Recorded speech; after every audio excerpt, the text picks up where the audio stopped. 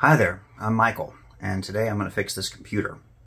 So it's a client's computer. Uh, they brought it to me, uh, letting me know that the CPU was overheating and it was turning off after a couple of minutes of being on. And I was like, how did you know the CPU was overheating? Because most people don't know that. Uh, and he told me, oh yeah, I have this little utility uh, that runs in Windows and it shows me the temperature of the of the CPU and other temperatures in the computer. I'm like, cool. Um, so yeah, it uh, it's it's going up to the max temperature and just turning the computer off. And I'm pretty sure the reason is because the all-in-one liquid cooler that's in here from NZXT. It's a 120 millimeter um, water cooler. Let me turn this on. So I'm hitting the power button.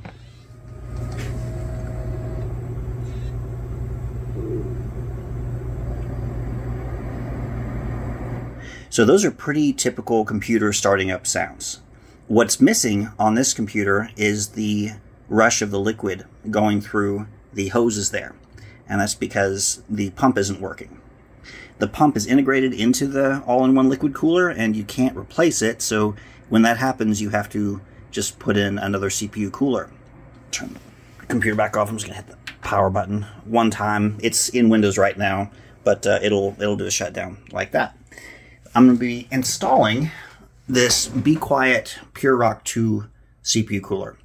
All right, so I've switched the camera to a head mount, so we're in first person mode now. Um, let's see, move this out of the way. Let's go ahead and take out the uh, the cooler that's in here right now. Get this thing up on my desk.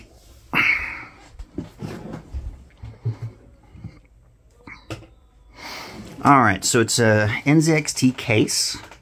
Looks like it's got one thumb screw on the back, which you're supposed to be able to take off with your just thumb force, but somebody really tightened that down. Okay, loose. You loose? Okay. So then I should be able to pull this way and get the... Oh, come on. Are you not loose? It's close. Up. Oh, screw came out. These are supposed to be captive, it would not. There it goes. Okay, get that screw back in there so it doesn't just fall out. Good. Okay.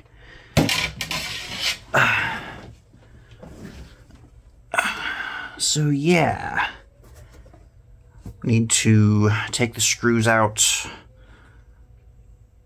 uh, from the back, and then this cooler will uh, will pop off. Let's go ahead and disconnect that. Yeah, so that cable most likely runs to a uh, USB port down here so that the uh, the cooler can be monitored.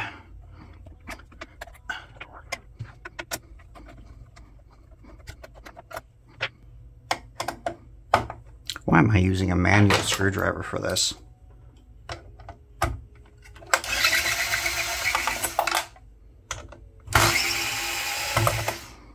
Okay. Got Some screws here.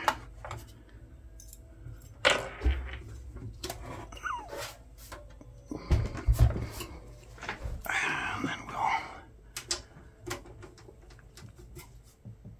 unscrew these guys. I'm going to reuse the fan that's here. This 120, mil, 120 millimeter fan. Gonna put it right back where this uh, all-in-one cooler's radiator was on the back. All right. Screw down. All right, so it should just come out. Nope, still got a got one more this is this should be the pump. This is the part that failed. And it's got a power cable that's running to the back. We need to get to it. More thumb screws that are on too tight. Look at that. On. There we go. And these are captive as well. Captive just means they won't come out all the way, or they're not supposed to. They're meant to just kind of sit there and flop so you don't lose them. Now the screw down. All right, you you come off now. There it goes, loose. It's such a. There we go. Okay. All right. Um. So that is the cable that I disconnected first, and it likely just comes down through here and goes up under. Yeah, it's, I'm wiggling the cable. Pretty sure it's this guy right here. You come out. Yeah, there you go.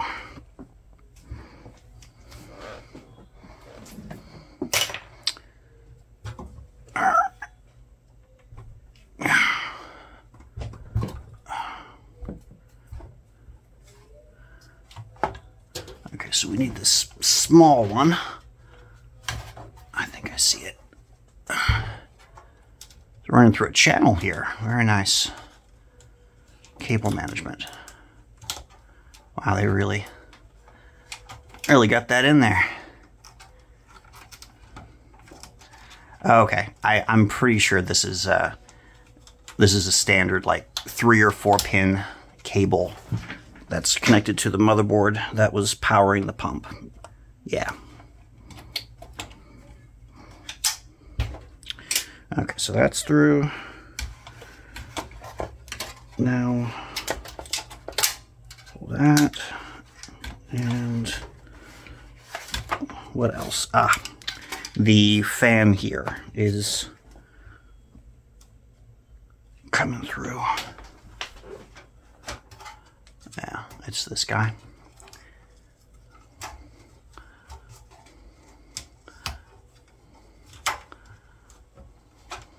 Like these channels for cables.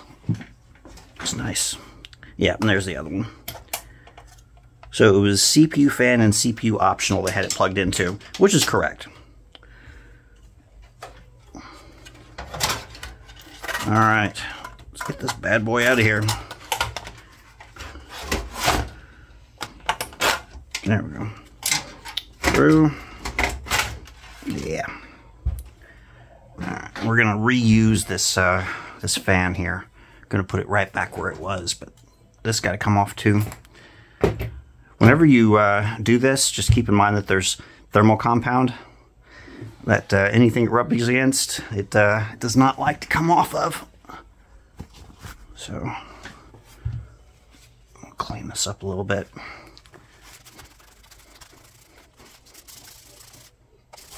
Okay, also get it the CPU while I'm at it.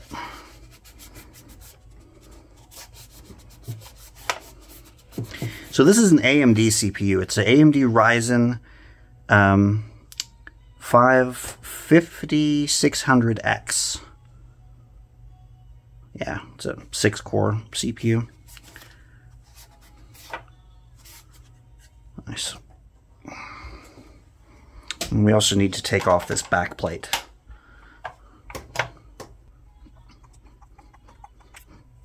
Okay, and these little risers. They just pull right off. Not risers, more spacers. And again, we're still just, I'm just still just taking off the, uh, the original before we go back. Get all this out of the way.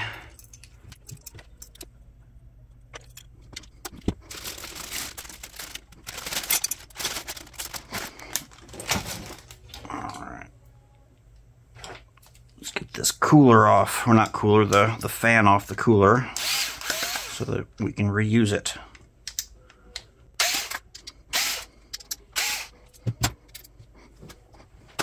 And these screws we won't be using.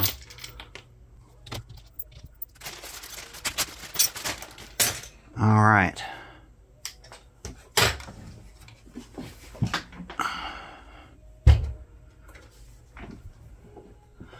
I'm a little concerned that we don't have the original AMD AM4 backplate. We don't have the original, and I think that the CPU cooler requires the original. All right, let's put this back on. Looking for directions. Yeah, here we go. The direction of airflow. So there's a little air uh, arrow that uh, you find on most fans that tells you the direction that the air flows. We want to go that way.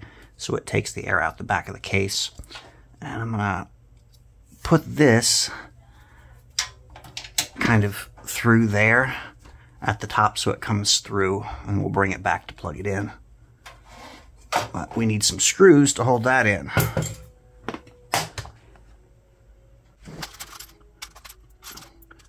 These are the types of screws that you need for putting in a, a fan. What they do is they kind of grip into the plastic of the fan, kind of bite into it, and that's how the how it's held in place. That dropped. I'll pick it up in a minute. Just kind of get it started and then power it in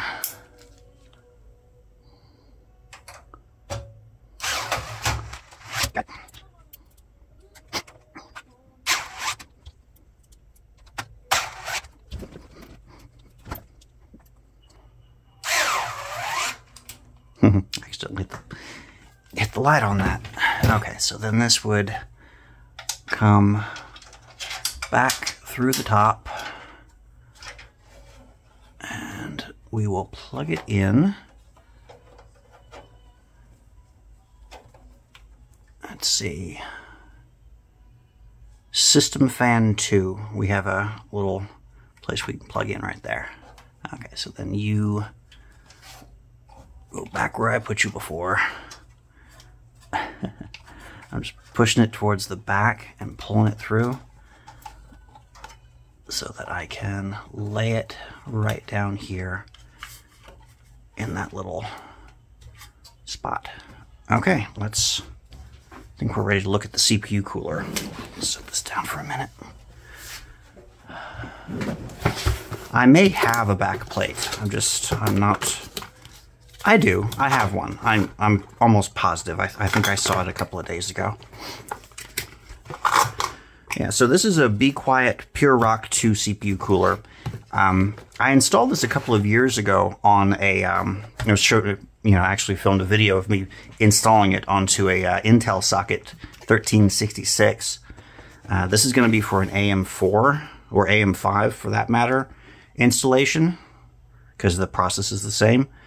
Um, I may, I'll try and show the uh, the hardware for the Intel side of things in this video, if I can, if I remember. If I don't, I'm sorry.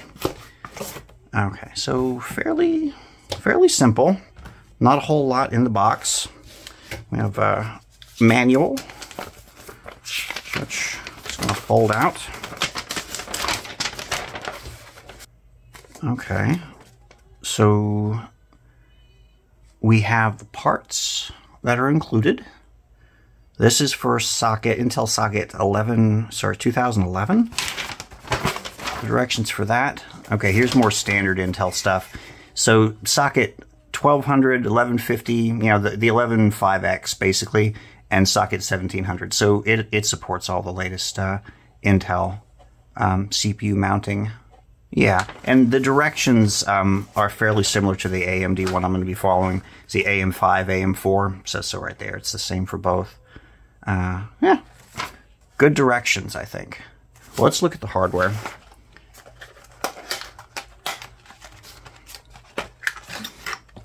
so these are for holding on fans. Comes with one, you can put a second one on the other side of it. So by default, it's going to be fan like that. You can also buy a second fan and put it on that side so it, you know, both both pushes and pulls through air.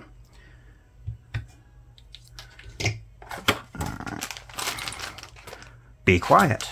Okay, yeah, good. Be quiet puts the mounting hardware in separate bags for the most part. So that's for AMD. That's what we're gonna need. That's what we're gonna need. Here's the Intel bag, and then the rest of this will be common parts. Very good. So a couple of screws and this bar. Let's, let's go ahead and look at the Intel stuff. Even though I'm not going to be using it during this build. can show y'all how it goes together.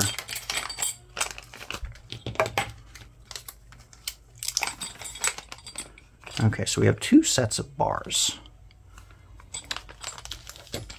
These two have two spots where you could put a screw through, or two areas.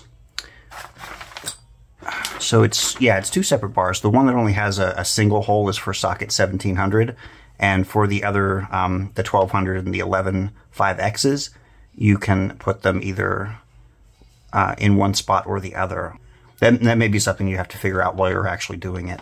But on the back plate, the part that goes on the back of the motherboard, there are two different as well. So 1700 would be the outside, and uh, the 1200. Oh, okay, so the 12. Okay, now I'm confused. Why are why is there two spots to put these through if it doesn't tell you, unless it's somewhere down down here in the text, which it could be. Wow, this is really not a very good instruction video, Michael. We'll get there. Let's see. So the back plate, let's see. Uh, so we need the stuff in here, although probably not all of it.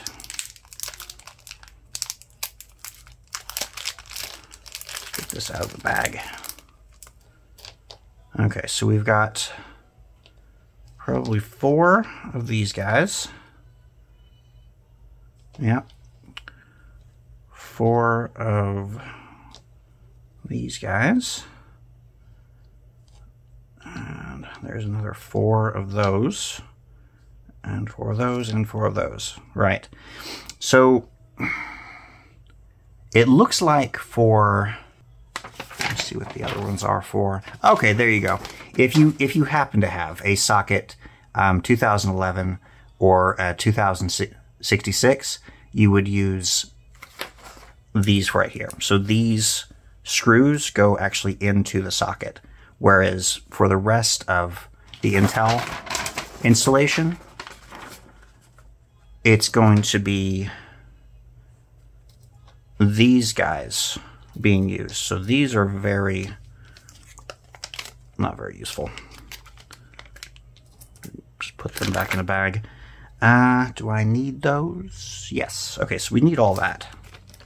So if we had an Intel CPU we were trying to put this on, what we would do is for socket 1700, we would put it through the outside like that, and then hold it in place with these little rubber kind of washers. So it would go like that. I'm to put one on the other side too.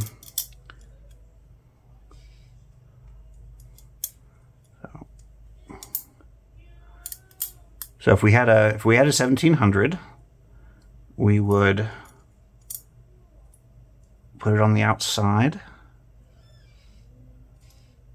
Kind of have to rotate it, and there you go. Kind of fits in there.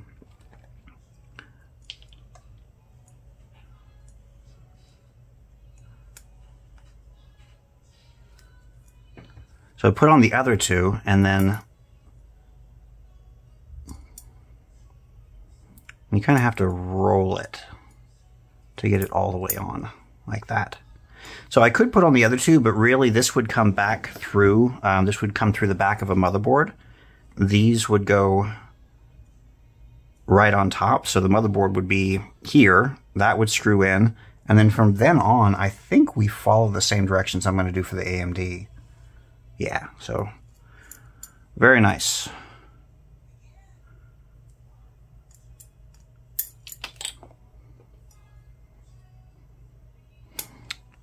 One of the rubber washers went to the floor. I felt it hit my foot, so I'm pretty sure I know where it is.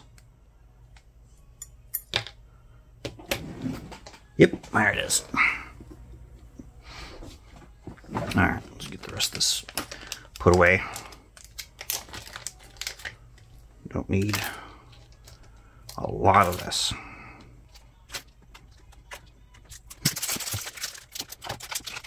But if the uh, if the customer ever wants to switch to an AMD CPU, they would have this hardware to make it happen.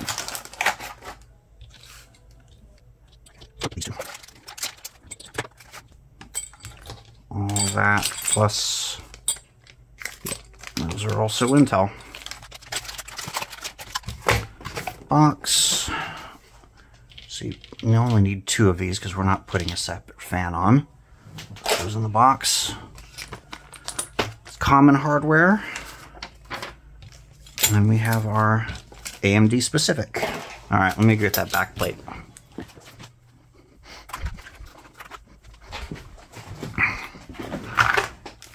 So, so this backplate or one very similar to it will come with the motherboard.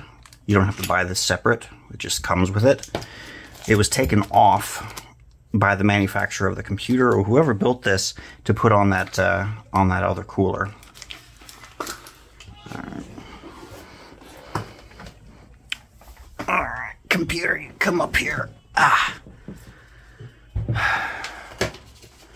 So what I'm gonna be doing next is I'm gonna be putting this through the back, and there's nothing to hold it together you know, to hold it on, so it's going to just kind of sit there like that.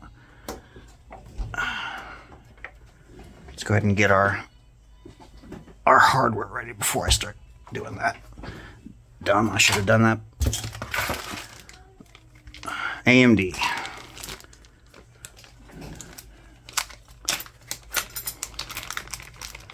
Alright, there's the bars. And there's the screws and the spacers. Alright, so what I'm going to be doing is putting these on top and then the screws through. So, back plate.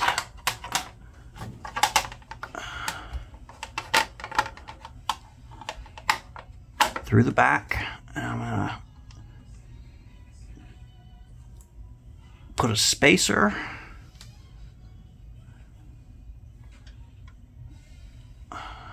Lay this down a little bit more and let gravity help me.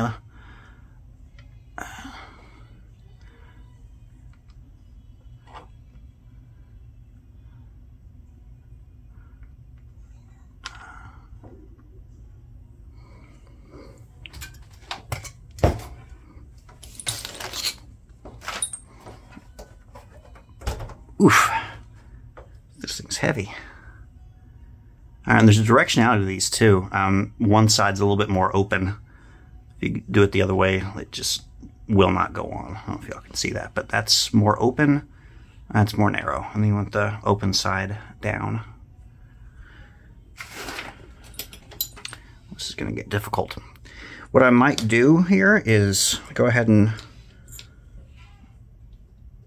run the the screws through. Just kind of drop edge of the table, drop. It would help to have an extra hand. Sometimes you just don't got that. All right, so if I can drop these in to the spot like that, and then get these started in the hole. Just giving it a quick pulse down and then tighten one and then the other. Okay, let's do that again.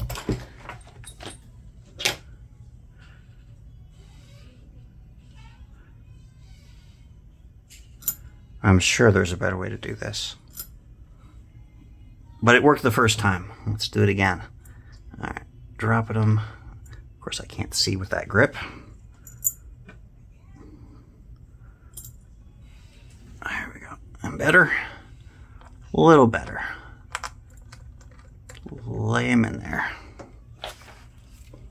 Another way to do this, which would make it a lot easier, I could have used a piece of tape, a tape to hold the back plate in place.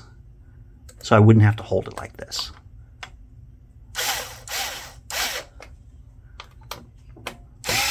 Alright, that's down.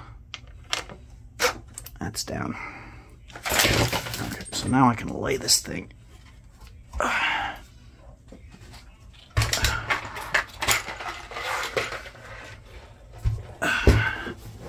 just like that. Now, thermal compound is already pre, pre now the thermal compound is already pre—I did it again. Take three. Now the thermal compound is already pre-applied to the cooler and there's a cover on it which dang that cover's really on there. Usually they come off a lot easier. But yeah, there's the uh, there's the thermal compound. You don't have to add extra. And I don't know if y'all can see. Yeah, you see the striations in my thumb? That was from just gripping it kind of a little bit too hard. You want to be careful with these uh, heat sinks with the very thin fins. Very easy to uh, to hurt yourself. All right, we need the crossbar. Aha. Another bag to open. Oh, it's already open. So this crossbar, what it's meant to do is to fit right through here. And it's kind of grooved so that it locks in place like that. If you look at the uh, at the cooler, it's kind of off to, to one side. It's meant to be going this way in order to uh, add a little bit more RAM clearance over here. Okay. I will set this. What I'm going for is for the holes right here to match up with the screw holes on the bar down below. So I'm going to put it approximately in the right spot and let it touch down. Switch to a regular screwdriver if I can find one. That'll work put this through that hole. Just give it a little bit of a turn just to get it started. I'm not tightening it down. Just getting it started in the hole. Do the same thing back here. And when you do this, if you can't get them to start, you may have gone too uh, too far with the first one. Back it off as much as you can. Um, and then what I generally do is just the same number of turns on each side to get the, the cooler to go down evenly. You can kind of look at it. Right now, it's it's it's almost level. I don't know if, if that, if that's going to show up, but if you compare it to um, this piece of metal here, it's kind of this way. It's to the to the left a little bit, but watch it as I turn. See how it evened out? It'll also you it'll, you'll be able to rotate it a little bit if you if you want it exactly like vertical with the case. You can you can mess with it and get it there. But yeah, just go same number of turns until it stops. For this cooler, you want to tighten it all the way down. Getting close. All right, that's down all the way tight. And that's down. Okay. So the fan, we're going to look for one of those directional arrows. Yeah, there we go. So directional arrow, fan goes, the airflow goes that way. And that's what we want. We want to bring cool air here, hot air out that way. So to kind of do that, and I'll plug it in, but we need to put these guys on. And these are meant to clip it to the cooler. So most of the time you go through the outside holes like that.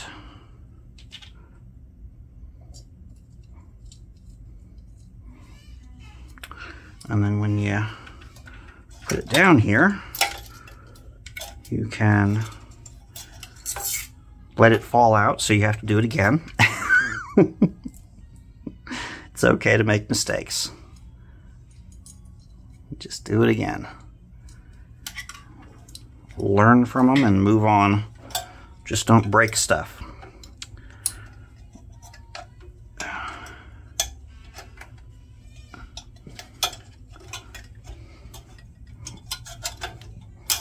Okay, so it kind of clips to this part And you do the same thing on this side. If you don't have enough room because of your graphics card, you can take it out, but generally you can make it work just like that. All right, we're going into CPU fan. It's listed right there, CPU fan, CPU opt. I don't know if y'all can see that, but it's the, the one closest to the top we're going into.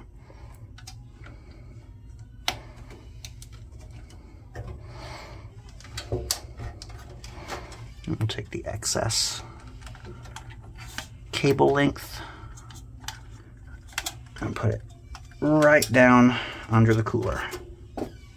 Looks clean. All right, now we test it. So before, this computer would just overheat and turn itself off after several minutes because the liquid was not flowing through the CPU cooler. The fan had failed.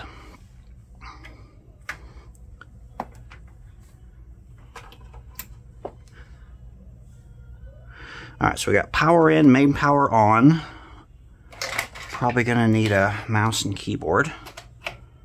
One of these is mouse and one's keyboard. Like that. Video in. set my monitor to HDMI. And power this bad boy on. Okay, so we got the back fan we put uh, in place spinning and the CPU fan spinning and video should be booting into Windows. Yeah, there it goes.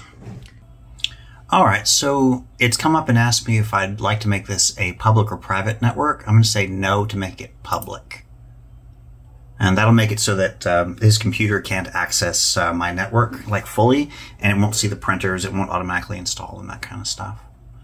Downloading. Okay, we'll get some getting some Discord stuff updated. Okay, here's the here's probably the software he used to show that the CPU was uh, was overheating, or showing him that the CPU was overheating. It's got the CPU load, and there's the temperature. Okay, so currently it's at 56, 54, yeah, 53. It's it's lowering uh, because the fan speed uh, spun up. So apparently, when it uh, started doing uh, things in Windows, it uh, put a load on it. And here comes Discord again but it's it's already doing much better than it was uh, before. I'm sure it was going to 90 eventually, and then just turning the computer off. Looks like it's going to be, yeah. There's the 40s, 70s as it calms down. Good stuff. Um, so I think most likely this is you know perfectly good cooling, but let's let's put it under a load just to be sure. Let's give it something to do. All right, guest account. Let's go get the Intel CPU burning tool. It's not made by Intel, it's made by Tech PowerUp. Um, a viewer on the, on one of the live streams mentioned this, and uh, I've um, I'm liking it. Okay, so it's a zip file, and they already have WinZip. We'll use it to do the extraction. So downloads folder, Intel folder, okay, and now we need to go to the downloads folder. Downloads. All right, so Intel burn test, and we will double click it and allow it to make changes. And let's do a very high stress test. The um, the maximum, it just takes a lot longer to get through it, and it doesn't add that much, you know, heat, to the to the system.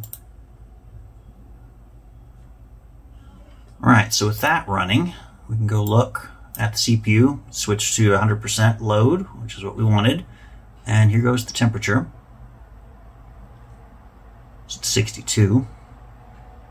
And the fan speed ramped up in order to, to help keep it cool.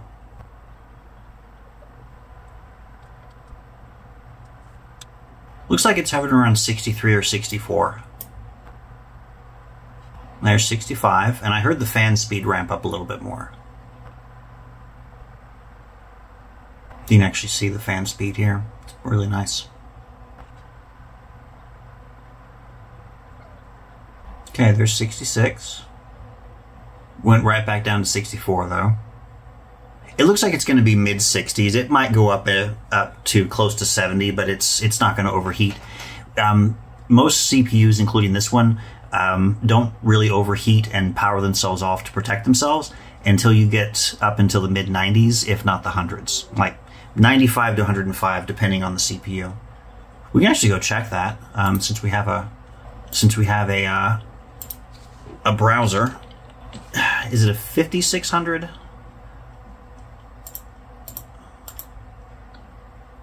System specs. 5600X, yeah, okay. So it is a Ryzen 5600X max CPU temp. 95. So if it gets to 95, uh, that would be the maximum, and that would be the point where it would either slow itself down in order to keep it from turning off, or if the CPU cooler was really not working like it was previously with that liquid cooler, it would just turn the computer off, and that's what was happening.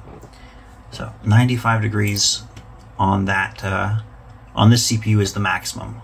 Yeah, it was just on 65 and went back to 64. I think that's likely to be about as high as it's going to go. It might go up a little bit more, but and this is this um, this burn test from uh, from Tech Power Up, uh, made by Agent God. Um, thank you, Agent God. Uh, really puts a good stress on it. Yeah, see, it went up to like 68 for a second there, then right back down. Yeah, we're good. All right, so that's how you install a Be Quiet Pure Rock 2 onto an AMD AM4 or AM5 motherboard and CPU. Thanks for watching.